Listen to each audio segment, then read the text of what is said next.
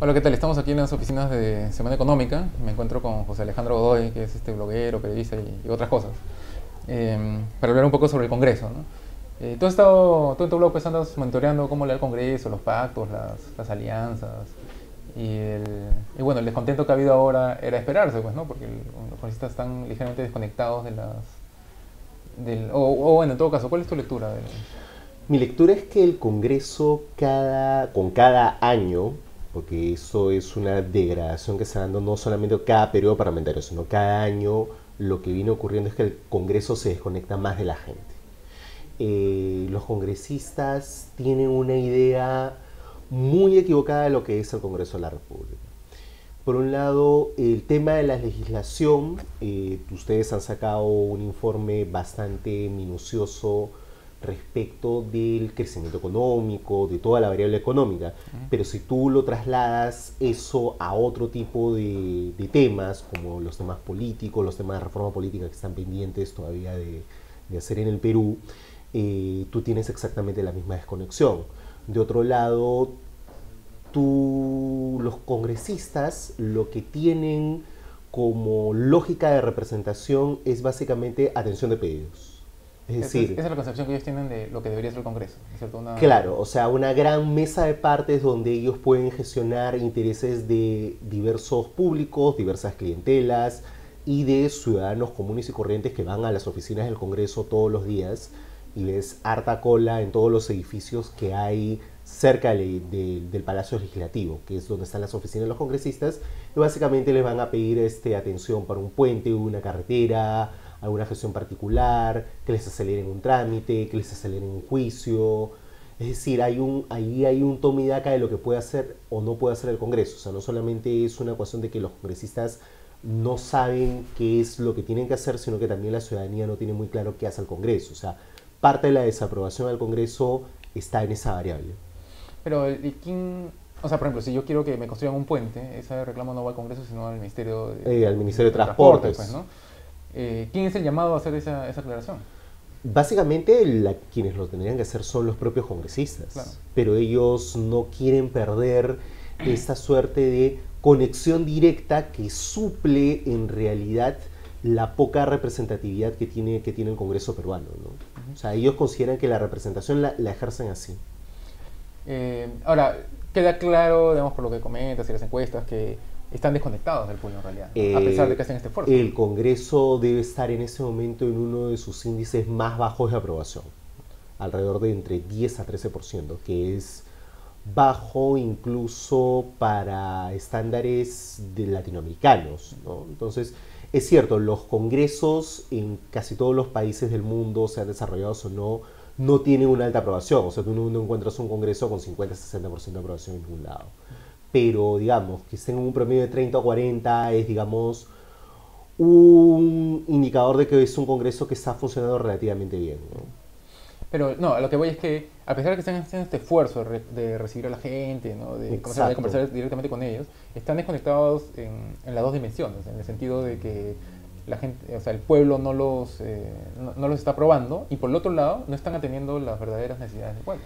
Exactamente, exactamente. Lo que, lo, que ocurre con, lo que ocurre con el Congreso es que el Congreso además es percibido como un grupo donde prima mucho el interés partidario menudo. Es decir, donde, y eso se ha visto con la elección del Tribunal Constitucional, del Defensor del Pueblo, de los directores del BCR en mucha menor medida, pero lo que se ha visto eh, en esos casos es que si bien en otros parlamentos se ha, elegido mediante cuotas, en este caso se ha elegido a personas no que respondían a un interés profesional o académico eh, vinculado a estas instituciones, como la Defensoría o como el Tribunal Constitucional sobre todo, sino a personas que respondían directamente a un interés particular del partido. O sea, si Perú Posible mete a Pilar Freitas es básicamente para que tome la Defensoría como un motín político. O sea, la Defensoría tiene oficinas en todo el país y puede ser fácilmente instrumentalizada por un aparato partidario. En el caso del Tribunal Constitucional, tú tenías a dos este, abogados que eran directamente ligados al gobierno y a un abogado directamente ligado no solamente al fujimorismo, sino a la defensa legal del de el, el expresidente encarcelado Alberto Fujimori. Entonces tú tenías ahí esos dos intereses jugando no tanto para la ciudadanía, sino básicamente para defender al gobierno en un lado y para tratar de sacar a Fujimori en el otro. Entonces, eso la gente se da cuenta, o sea, la, eh, eh, este, la, gente no es boba, la gente se da cuenta de eso y por eso es que has tenido las movilizaciones de estos días este, frente a este cuoteo malentendido, ¿no? Ahora, el Congreso no aprende, pues, ¿no? Porque, digamos, su reacción ante estos reclamos no es sacar a las personas por las cuales se está reclamando, sino todo, o sea, volver a la foja cero. Básicamente como para, no sé, negociar de nuevo. Este... Eso puede ser una lectura, que sea para negociar de nuevo. Y la otra, la otra lectura puede ser es, mira, ante tanto reclamo, mejor deshagamos todo y hagámoslo bien.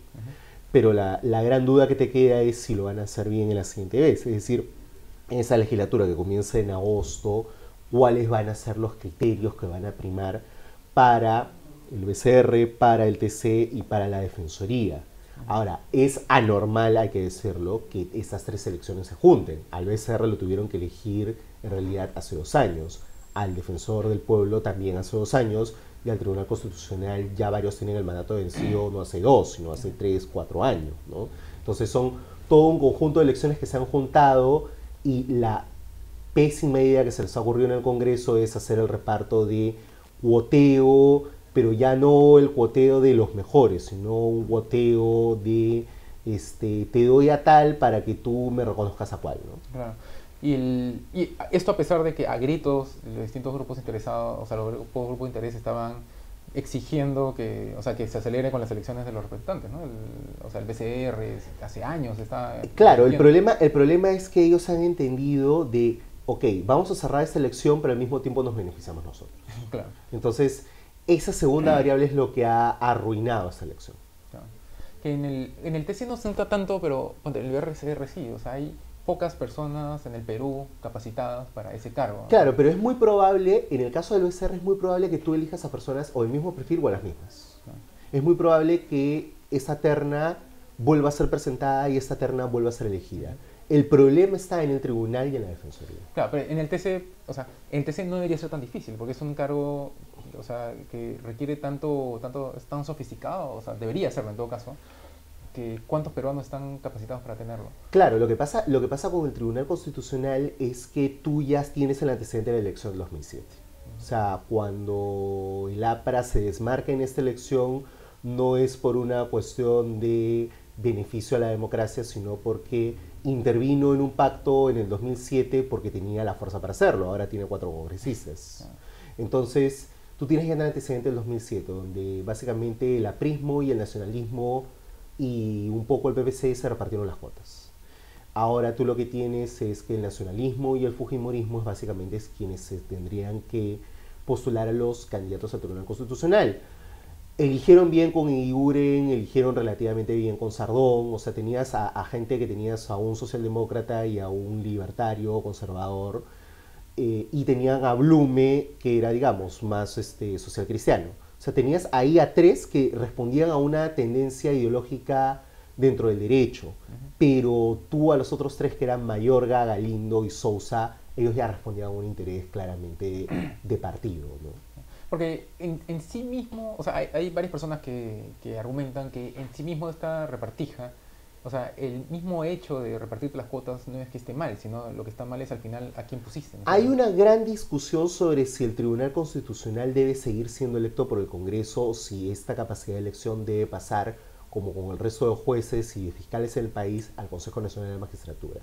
Ese es un gran debate que, por ejemplo, instituciones como el Instituto de Defensa Legal hace años están, están planteando. Hay tesis académicas al respecto en el campo, en el campo del derecho constitucional pero es una discusión que está entrampada porque quienes tendrían que modificarla es el propio Congreso, o sea, porque esto implica una, una reforma constitucional.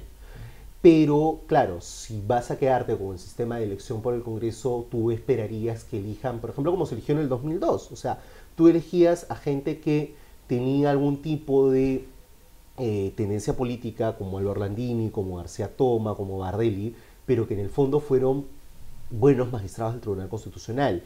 Tú podías decir, ok, este, no tenía necesariamente un gran conocimiento de cómo se manejaba la economía, de cómo se manejaba el tema laboral, pero eran magistrados que tenían un buen equipo de asesores atrás y que sabían medir las consecuencias políticas de sus decisiones. Por ejemplo, fue ese tribunal del 2002 el que tuvo que decidir sobre la legislación antiterrorista, es decir, tuvo que haber una salida eh, en la cual tú declarabas en parte eh, inconstitucional la legislación antiterrorista, pero al mismo tiempo tú suspendías el efecto de tu sentencia para que el Poder Ejecutivo pudiera diseñar un mecanismo a partir del cual evitabas que algún más saliera de la prisión. ¿no? Pero el, o sea, pero esa calidad se ha perdido, digamos. Esa calidad se ha perdido porque no solamente el nivel de los magistrados ha bajado, sino también el nivel de los asesores dentro del Tribunal Constitucional ha bajado. No solamente ha bajado la calidad, sino la predictibilidad de esto, ¿no? porque entra un caso ahí y no hay forma de saber cuál va a ser el resultado. Exacto. El gran problema con el Tribunal 2007, de, que entró con el 2007 al 2012, o que debió culminar su periodo en el 2012, es justamente eso, que eran magistrados cuyo nivel de predictibilidad fue sustancialmente menor al que, al que, este, al que se tuvo entre el 2002 y el, y el 2007. No, y el que debería haber, ¿no? O sea, un TC debería ser predecible. ¿no? Claro, un TC debería ser predecible y un TC debería saber en qué meterse y en qué no meterse. O sea, por ejemplo, tú tienes sentencias del Tribunal Constitucional en donde en realidad la discusión debieron derivarlo a un juzgado civil o un juzgado penal en el Tribunal Constitucional y ellos se metían a resolver la materia de fondo. Por ejemplo. el tema de la Universidad Católica, por ejemplo. Ah. ¿No? O sea, el tema de la Universidad Católica, ellos, este, entró un caso por vía de amparo y en realidad el tema de fondo era un tema civil. Ellos debieron ahí decir, declarar improcedente la demanda y no meterse a resolver el tema de, eh, a resolver, entre comillas, el tema de fondo, que en realidad es en un juzgado civil. Y se metieron este, a dar algunas directrices que finalmente no son este, obligatorias, pero sí pueden ser utilizadas por alguna de las partes para este, poder tener más argumentos en la parte civil. ¿no? O sea, el Tribunal Constitucional no cuida eso, este último Tribunal Constitucional no, no, ha cuidado mucho eso y tiene serias deficiencias de fundamentación. Ahora, el, Eliche de Reflexión Democrática me estaba diciendo que en realidad el Congreso es como un reflejo de una crisis que existe en los partidos políticos, ¿no es cierto? Y que en realidad lo que deberíamos abordar es eso, pero la ley de partidos políticos sale también del Congreso, entonces este... Claro, eh, eh, el problema es que, claro, tú tienes ya este año se cumplen los 10 años de la ley de partidos en el Perú. Entonces es un buen momento en como para que te pongas a pensar si es que esta ley de partidos ha funcionado o no. La gran crítica que se le hace a la ley de partidos es que es una norma que piensa más que militantes, piensa más en comités físicos, en locales físicos. ¿no? Entonces prima mucho el criterio de cuántos locales físicos tienes en todo el país que en lugar que tener una buena militancia, que tener este, mecanismos de educación y de formación este, ciudadana, de formación de militantes. No tienes implementado el tema del financiamiento político directo, es una cosa en la cual eh, el criterio de los, de los, tanto del gobierno de García como el gobierno Humala, ambos este, expresamente dichos, es no queremos financiar públicamente a los partidos y no lo vamos a financiar, incumpliendo abiertamente este, una norma que te dice que eh, la OMP debería destinar un porcentaje de plata, que no es mucho para lo que en comparación con otros, este, con otros países este, de la región, para básicamente formación este, este, partidaria. O sea, ese es básicamente para lo que se debería destinar un financiamiento público y para algunas cuestiones de funcionamiento básico de los partidos, porque los partidos políticos en el Perú no son millonarios. O sea, las campañas son millonarias, pero, oh, ni tanto, el, pero ni tanto. Pero el funcionamiento de los partidos políticos eh, normalmente, digamos, no es que necesites una millonada de plata para mantener este, a un partido funcionando. Como están ahora. Tal cual está la hora, ¿no? y aparte hay, un tema también con, el financiamiento directo, ¿no? O sea, si yo soy, digamos, un privado y quiero financiar a un congresista en especial, porque ese, esa persona me parece que es buena, este, está bien capacitada, no puedo, ¿no es cierto? No, no puedes. O sea, el financiamiento, el financiamiento privado está destinado básicamente a la campaña electoral. Y el financiamiento privado además tiene una, cierta, una serie de limitaciones en cuanto a los montos, ¿no? Entonces tú no puedes dirigir tu financiamiento privado o a un congresista en específico y, o si quieres este, poner mucho más plata en un partido, eh, tienes que dividir los aportes entre personas que en realidad no están aportando, que es por ejemplo lo que le pasaba a Pedro Pablo Kuczynski durante la campaña del 2011. O sea, él Claro, que su propio dinero. Claro, era su propio dinero, pero él tenía que poner a determinado número de personas para que ellas aparecieran como portantes, ¿no? Claro.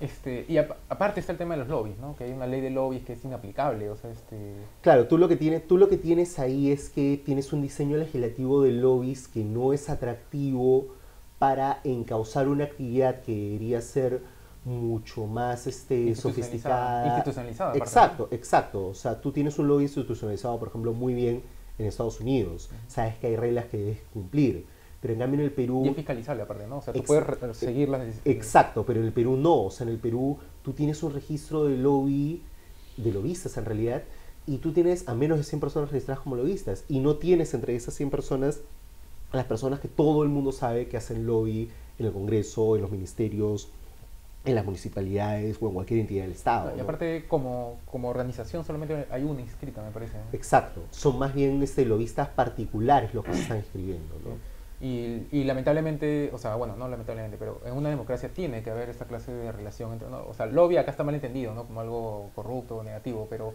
tiene que haber algún mecanismo por el cual ciertas instituciones, grupos de presión... Pero en realidad, si tú te, si tú te das cuenta, el lobby no institucionalizado lo ejercen básicamente las organizaciones no gubernamentales, los think tanks, las universidades, los ¿no?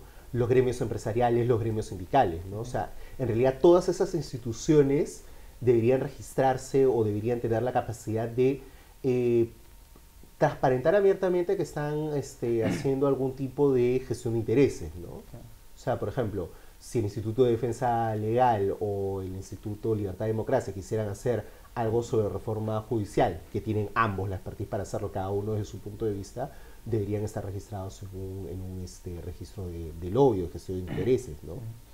¿Y, ¿Y, en Estados Unidos cómo funciona el hecho, o sea, tú estás, si aceptas una, eh, en tu despacho como congresista, aceptas una ONG ambientalista, ¿tú estás obligado a después aceptar a, una organización de una postura distinta o no? ¿Tú escoges qué sesgo tienes? En eso es algo que yo no tengo, no tengo muy claro, pero en realidad los congresistas en Estados Unidos este, tienen voto, tienen, digamos, tienen votantes, este, tienen una cierta direccionalidad, ¿no? O sea, tú sabes que determinado congresista es, por ejemplo, pro TLCs y que otro congresista es anti TLCs, ¿no? O que, digamos, puede aprobarte un TLC, pero que necesita algunas garantías para eh, la gestión de intereses que él puede hacer con este, sindicatos, con grupos ambientalistas y demás. Laborales. Exactamente, laborales y ambientales, ¿no? Entonces, sabes que hay determinados congresistas que pueden responder a ese determinado tipo de interés. De hecho, en el Congreso peruano, eh, tú sabes que hay por lo menos 10 a 15 congresistas en los cuales tú sí tienes cierta predictibilidad de para dónde van a disparar. O sea, tú, por ejemplo, sabes que, por ejemplo, Manuel Dame, Rosa Mavila van a responder a un interés de este, los sindicatos y los gremios tipo la CGTP. Tú sabes, por ejemplo, que tú puedes tener un congresista como Luis Galarreta que normalmente va a estar más cercano a las alternativas que le pueda poner este, los gremios empresariales más bien pero ese nivel de predictibilidad no lo tienes, por ejemplo, con el fujimorismo y no lo tienes con el nacionalismo. Claro, ahí tienen dos cosas. Primero, que es necesario, o sea, tú necesitas que los congresistas sean, sean predecibles, pues, ¿no? Porque si no estás votando por, por un, cheque en blanco cuando los eligen, ¿no es cierto? Claro. Es uno. Y otra cosa es que este, tú necesitas que, se, que, o sea, no está mal que tengas la postura distinta en el mismo Congreso.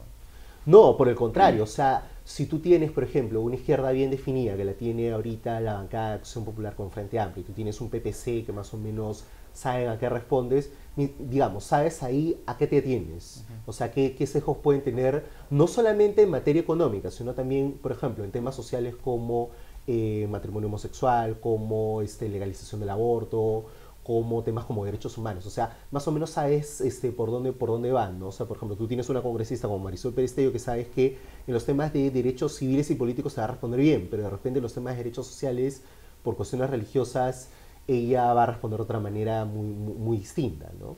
Entonces, pero, pero, pero ya ahí tienes un nivel de predictibilidad.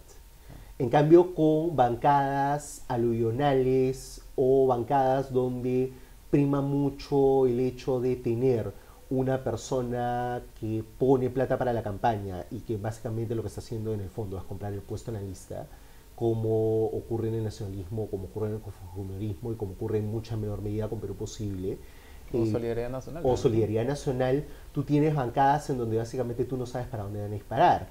Por eso es que un resultado como el que ustedes presentan en Perú Económico de eh, Fujimoristas metiendo medidas populistas, que era algo que por lo menos hasta hace 10, 15 años no estaba en la cabeza de muchos, ahora es perfectamente posible. Claro, el caso del Fujimorismo es bastante claro cómo han perdido su, tema. ¿no? antes su, tema era impulsar reformas, apoyar digamos, al, lo que estaba haciendo. E incluso en el tema fuerte de la campaña del 2011, que es el tema de seguridad, por ejemplo, tú no tienes a nadie creíble viendo el tema de seguridad, porque, o sea, Octavio Salazar, por más que haya sido director de la policía, por más que haya sido ministro del Interior, justamente recordar su trayectoria como director general de policía y, como ministro del Interior te da cuenta que no es una persona seria para discutir temas de seguridad. ¿no? Entonces, el Fujimorismo ha perdido cualquier bandera, en lo económico ha perdido cualquier bandera en seguridad y le queda una bandera única, que es básicamente la liberación de Fujimori. Claro. Este, que, o sea, que claramente predice, bueno, parecería predecir una crisis en este partido por lo menos, estaríamos perdiendo un partido más. Claro, y en el caso del nacionalismo tú lo que tienes es congresistas que van a votar abiertamente con, digamos, con Castilla, con el gobierno, porque nadie los llama, pero vas a tener a, gente que presenta estos proyectos este, estrambóticos en materia económica como Jaime Delgado, en los cuales este, el MEF va a tener que negociar directamente con él este, este, tipo, este, este tipo de proyectos y al final terminas con un Frankenstein que no sabes para dónde va. ¿no? O con Nadine, ¿no? Porque Nadine y Delgado aparentemente cada vez están más cercanos. Claro, entonces tú, entonces tú, tienes, tú tienes ahí un, un, un, problema con la bancada nacionalista, con la bancada de gobierno, que es que no te brinda seguridad de nada, ¿no? O sea, puede ser una bancada que de repente puede votar por un proyecto económicamente bien sustentado, como los que te puede presentar el MEF, pero al día siguiente puede votar por, lo, por los proyectos mal concebidos de, Jaime Delgado, ¿no? Entonces, tú no tienes predictibilidad en una, en, una bancada de gobierno. Es una bancada de gobierno que justamente tiene la misma esquizofrenia de la que adolece el gobierno, que no tiene un rumbo claro en determinadas políticas, ¿no? O sea, o que puede tener un rumbo claro en determinadas políticas, pero cuya capacidad de negociación política es tan mala que al final termina arruinando sus propias reformas. Bueno, no sé, a ver, vamos a ver pues, qué sucede en los próximos, ahora el mensaje, en fin, en, las próximas semanas. En las próximas semanas, además con un Congreso que se recompone porque tú ahora tienes esta bancada nueva con gente que se ha ido de Perú Posible, sumada hasta al Pastor Lai, y tú tienes una bancada que se va a llamar Unión Regional, pero que en realidad la bancada la forman básicamente para tener comisiones en el Congreso o algún puesto en la mesa directiva y en realidad no sabes esa nueva bancada por dónde va a pensar. Tú con Acción Popular Frente Amplio sabías que, claro, o sea, en temas económicos, Acción Popular Frente Amplio iba a ser nítidamente una bancada izquierda y que iba a ser una bancada más, este, más abierta en temas sociales y en temas políticos, ¿no? Pero en el caso de esta, esta, nueva, esta nueva bancada de Unión Regional, no sabes para dónde va a ir. Básicamente responde a estos grupos que generalmente se forman hacia tercer, cuarto año de los congresos peruanos del 2001, en los cuales básicamente se están jugando, se están juntando en realidad para tener algún puesto en comisiones o algún puesto en la mesa directiva. Claro, por los incentivos que se generan por la, ley esta anti, no sé, pues, eh, que evitar el transfugismo, pues, ¿no? O sea, que, porque lo que teníamos antes era aún peor, pues, ¿no? Porque tenía, ni siquiera tenías bancadas, sino que tenías una maraña de congresistas ahí tirados que no sabía qué pasaba. Claro, entonces tú nuevamente lo que, lo, que tienes ahí es, claro, y ahí nuevamente vamos con el diseño de la ley de partidos, ¿no? Tú lo que tienes es que todos estos congresistas que entraron con Perú Posible en realidad eran invitados de agrupaciones este, regionales. Tú no tienes formalizado cómo haces el trasvase del vínculo entre partidos regionales o movimientos regionales hacia partidos nacionales. De hecho, los partidos regionales no pueden postular al Congreso Nacional. y la única vía que tienen es ir como invitados en este, una lista nacional. Entonces tú lo que tienes al final es que Perú Posible, por todos los factores que tiene de crisis este, interna, revienta y tú tienes a todos los grupitos regionales que forman una mini bancada básicamente para no perder presencia en comisiones. Ok, muchas gracias. A ver qué pasa pues. Listo.